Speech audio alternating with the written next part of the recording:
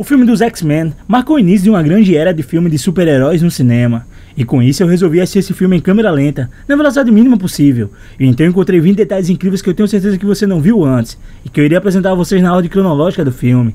Então sem mais enrolação, vamos para o vídeo. Número 1. No início do filme, no campo de concentração de Auschwitz, quando Eric é separado pelos soldados e sua família, no momento em que ele desperta os seus poderes, vemos que ele enverga o portão do local, onde se você olhar atentamente, verá que o portão ficou envergado formando um X, que simboliza os genes dos mutantes. Número 2. Na cena a seguir, vemos que a vampira beija o seu namorado, onde ela acaba sugando sem querer a vida dele. E esse é o momento onde ela desperta seus poderes. E essa cena faz referência a uma cena do primeiro episódio da série animada dos X-Men, onde ela diz: Eu me lembro quando eu tinha 13 anos. Eu tinha um namorado. Eu dei um beijo nele. Ele ficou em coma por três dias. Número 3. Ainda nessa cena, é possível que a vampira diz: Eu subo as rochosas canadenses e depois só algumas centenas de quilômetros até Anchorage. E Anchorage é exatamente o local onde ela se encontra com os X-Men pela primeira vez nos quadrinhos, na edição número 171 dos Uncanny X-Men de 1981, onde mais na frente no filme vemos que ela é resgatada pelos Ciclopes e a Tempestade exatamente nesse local.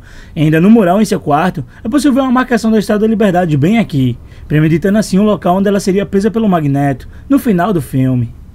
Número 4. Quando a Jean Grey está discussando no Senado em Washington, nesse momento, vemos que ela diz: Essas mutações se manifestam na puberdade e costumam se desencadear em períodos de elevado estresse emocional. E essa fala foi referenciada 15 anos depois, no filme do Deadpool, onde o Francis fala: Estou injetando em você um soro que ativa qualquer gene mutante escondido em seu DNA.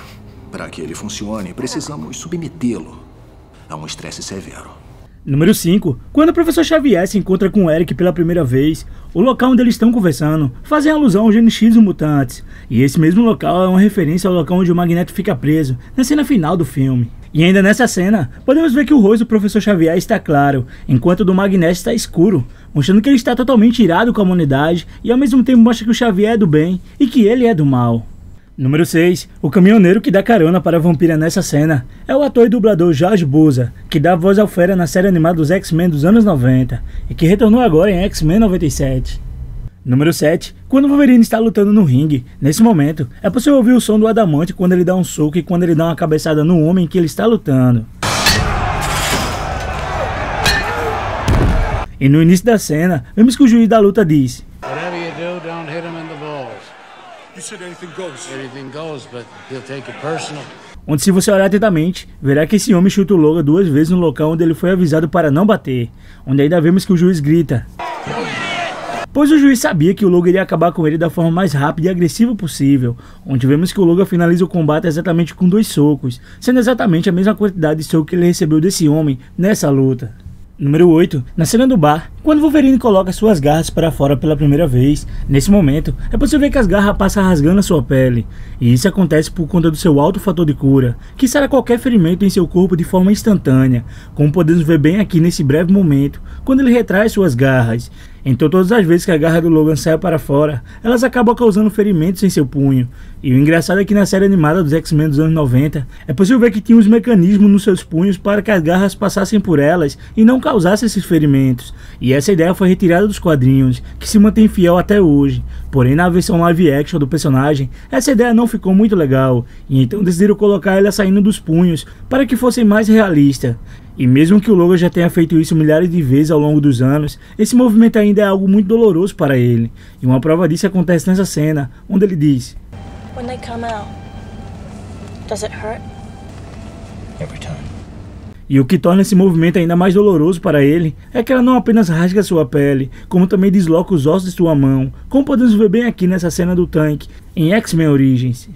Número 9. Ainda nessa cena do bar, a jaqueta que o Wolverine está usando nesse momento é a mesma jaqueta que ele recebeu do Sr. Travis Hudson na cena do celeiro, em X-Men Origins Wolverine. Número 10. Quando Logan chega na sala do Professor Xavier, após ser guiado por ele através da mente, nesse momento, vemos que a Kitty Pryde esquece a sua bolsa. Então ela volta para pegá-la e depois atravessa a porta usando seus poderes. Então vemos que o Logan se assusta com isso. Então Xavier fala: Física.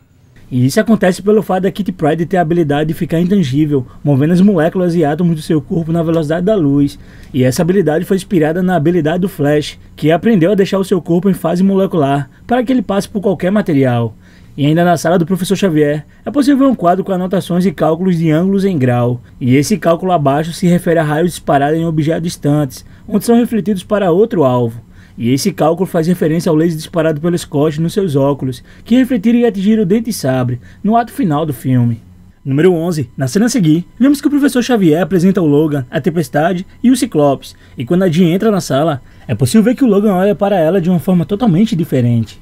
Onde se você olhar atentamente, verá que o Scott percebeu isso, então ele olha para o Logan sem entender nada, onde logo em seguida, vemos que o Logan puxa o Scott pela blusa, onde é possível ver que o Scott olha para o professor Xavier com uma cara de ironia, como se quisesse dizer, professor, se você não fizer nada eu irei acabar com ele. E na cena deletada do filme, é possível ver que o Scott iria realmente atirar no Logan naquele momento, onde a Jean diz: If Scott opened his eyes without that visor, he could punch a hole through a mountain.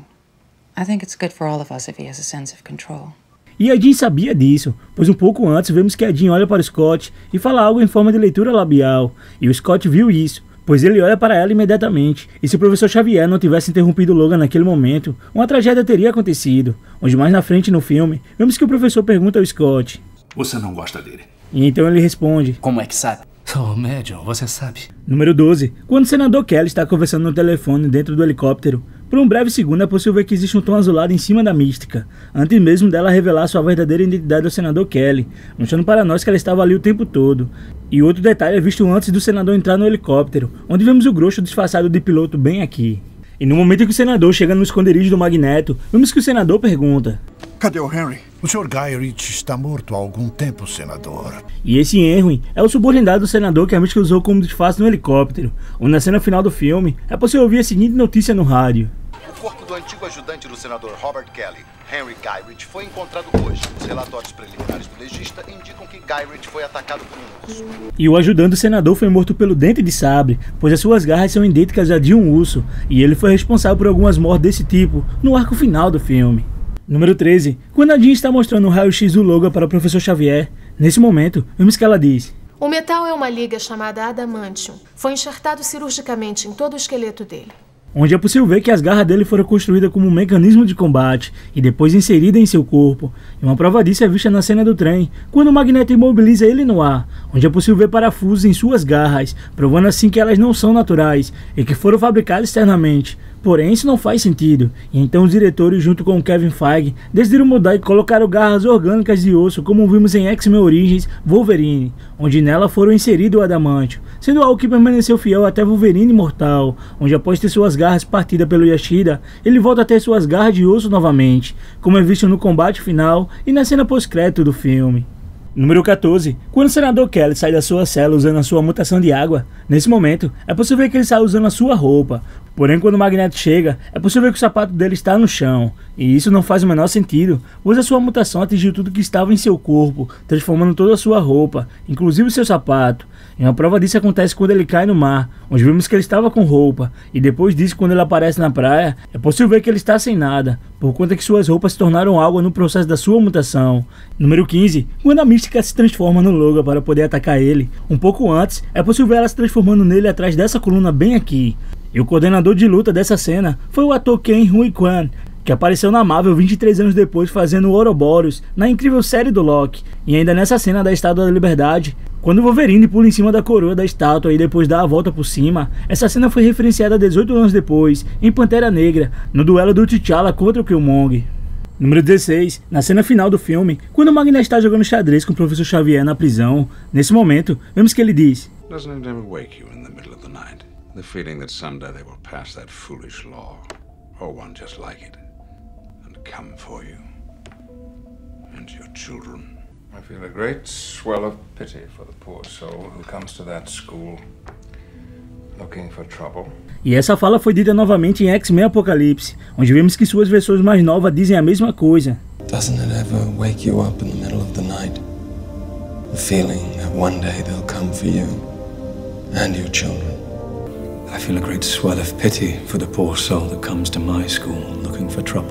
E essa é a última curiosidade desse vídeo, e eu espero que tenham gostado. Então é isso pessoal, muito obrigado por terem visto o vídeo até aqui. Um abraço e até mais.